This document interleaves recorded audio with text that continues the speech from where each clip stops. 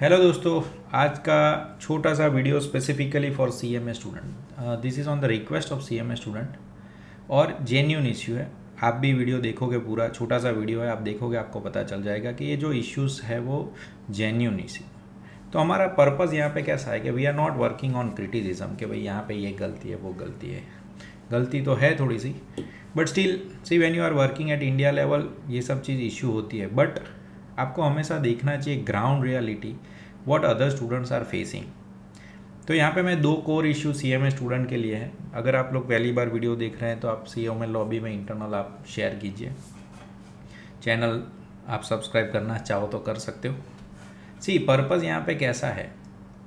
कि over a period I am generally making less videos but still I take things as positively कि कई बार क्या होता है टॉप मैनेजमेंट को पता ही नहीं कि ये इशू है। मिडल मैनेजमेंट ही सब खेल रहे हैं तो ऊपर तक इशू जाना चाहिए कई बार तो वो सॉर्ट आउट हो जाता है। So let me give you one example of C A institute एक बार ऐसा इशू आया था कि भाई, बस में कोई बच्चा सी ए का पेपर चेक कर रहा है, और वो वीडियो वायरल हुआ। I am talking out before three four years so सब टीचर्स ने एक फॉर्म पॉजिटिव तरीके से इनपुट रखा, थोड़े वीडियो रखे और टॉप मैनेजमेंट को भेजा कि यार ऐसे आप बच्चों के कैरियर के साथ खेलोगे? कोई भी पेपर चेक कर रहा है सी बच्चों का। तो उन्होंने पूरा सिस्टमेटिक सिस्टम बनाया। It took little bit time but now online checking is this perfect calculation are there checkers को वीडियो वेबकैम ऑन रखना पड़ता है। पूरा प्रोसेस बनाया उन्होंने। तो कई बार क्या था सी एम इंस्टीट्यूट को भी कोई कोई चीज़ पॉजिटिवली लेनी चाहिए कि ये जेन्यून बच्चों के हित के लिए so coming to the point two issues I am going to cover mostly C M A student के लिए it may be inter but mostly I am focusing on final सबसे पहला, पिछले साल उन्होंने अगस्त में कोर्स चेंज कर दिया है।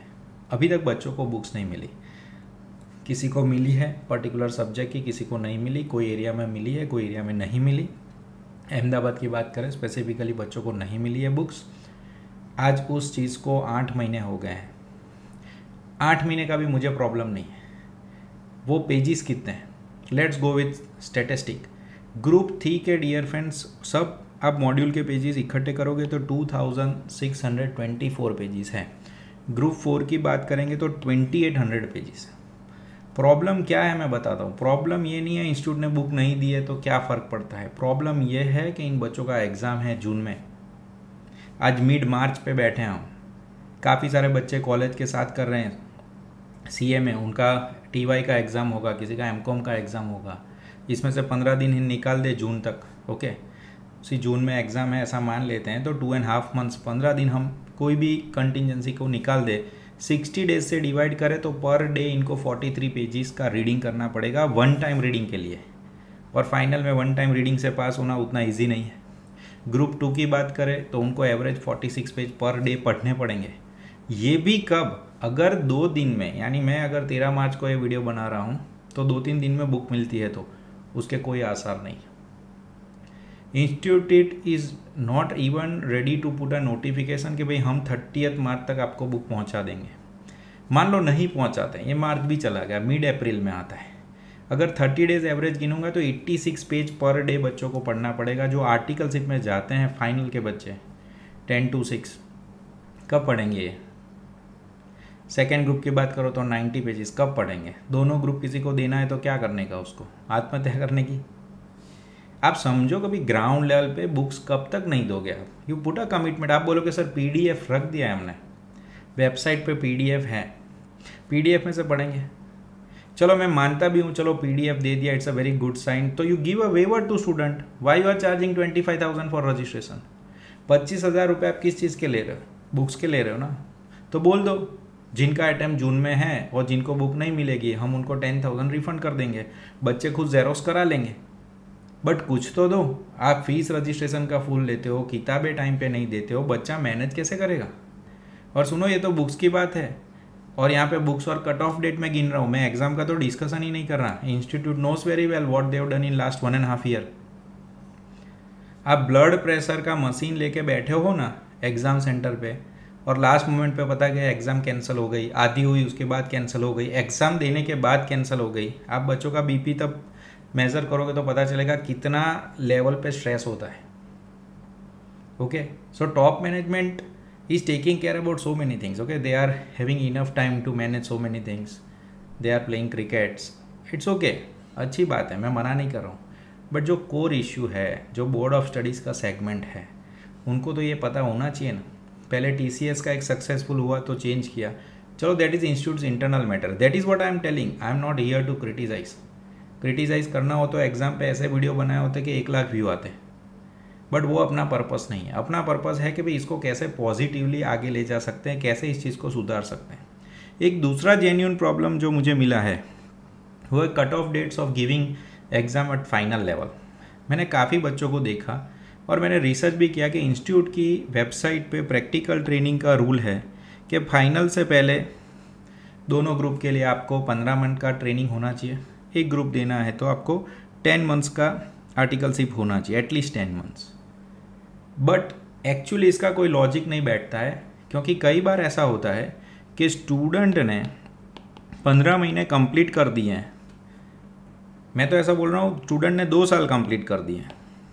बट मान लो उसका कोई ग्रुप बाकी था इंटर का, और उसको फाइनल में अटैम्प्ट देना है जैसे ही, जैसे से फॉर एग्जांपल अभी किसी को जून में देना है, वो नहीं दे पाएगा। क्यों? क्योंकि आपने रजिस्ट्रेशन विंडो क्लोज कर दी। Dear friend registration window close करने का क्या लॉजिक है? What is any sound logic behind closing the registration C A institute never close is registration it is three sixty five day open cut off के लिए मैं बोल रहा हूँ। वाई कट ऑफ़ के लिए भी क्यों क्लोज करने का? सी ए में मान लो तीन साल आर्टिकलशिप था, जो अभी रिड्यूस करके उन्होंने दो साल किया है बिकॉज़ दे अंडरस्टैंड के three years is more that is again we can say they've taken things positively यहाँ पे अगर आप रजिस्ट्रेशन विंडो ओपन रखते हो सी ए में ऐसा है, मैं कंपेरिजन इसलिए दे रहा हूँ क्योंकि लेमेन को शायद ना समझ में आए। किसी का आर्टिकल आर्टिकलशिप खत्म हो गया जनवरी में फेब में उसका रिज़ल्ट आया, वो पास हो गया तो वो मई में फाइनल दे सकता है। अपने में ऐसा नहीं है, इसका क्या लॉजिक है?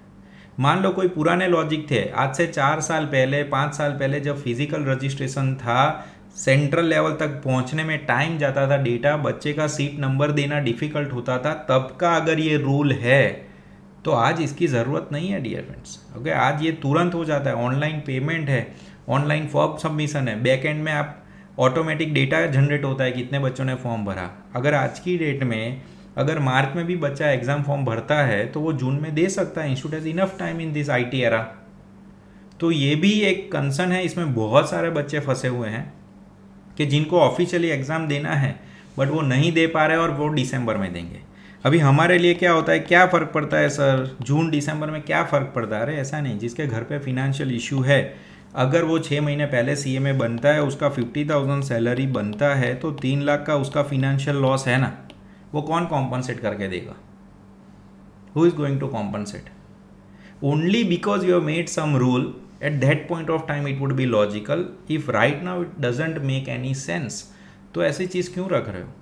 तो ये दो चीज़ मेरा कंसर्न है कि भाई जो एग्जिस्टिंग बच्चे हैं, उनको समवेयर आप रिलैक्सेशन दो in monetary terms if you cannot give book if you can give book it is awesome thing you give a notification ये दिन से पहले हम बुक दे देंगे। नहीं दे सकते तो consider what is student what is best in student interest and another thing ये कट ऑफ़ डेट के बारे में ही सोच लो। कई बार क्या होता है, सालों से कोई प्रोविज़न चलता आ रहा है, उसका हमें पता नहीं होता और उसकी आज की डेट में ज़रूरत नहीं। जैसे कई बार ऐसा होता था कि सोसाइटी का ऑडिट आता था तो वो लोग आके हमें ऐसा बोलते थे कि भाई सोसाइटी ऑडिट आप हमें बैंक के बैंक का जो चेक बुक होता है, उसके काउंटर फॉइल चाहिए। वो कंपलसरी रिक्वायरमेंट है। वो कंपलसरी रिक्वायरमेंट है। वो लॉ में भी दिखाते हैं हमें कि चेक इश्यू के काउंटर फॉइल चाहिए। भाई, वो लॉ बना नाइनटीन सिक्सटीज़ में। अभी सब 95 परसेंट पेमेंट में ऑनलाइन करता हूँ काउंटर फॉइल कहाँ से लाऊँगा? तो आप आपकी जगह पे राइट थे 1960 में, अभी उसका सेंस है। ये प्रोविज़न जब बना है तब उसका सेंस होगा। मैं मना नहीं कर रहा हूँ बट अभी है उसका। अगर ज़रूरत नहीं है तो उसको पॉजिटिवली क्लोज करो। बच्चों के छः महीने यानी बच्चों का तीन लाख का रेवेन्यू लॉस है okay okay? So I take things and I insist students E M A students कि भाई ऐसे कोई इश्यू हो तो बताओ। एज आई सेड कई बार मिडल मैनेजमेंट को पता ही नहीं होता, इसका इम्पैक्ट वो नीचे सुनते नहीं हैं। वो क्या इलेक्शन की अलग दुनिया चलती है उनकी? और टॉप मैनेजमेंट तक ये बात पहुँचती नहीं है। तो ये वीडियो थोड़ा सा शेयर करो, क्योंकि मुझे पता है तक तक सी के लिए कोई वीडियो भी नहीं बनाता।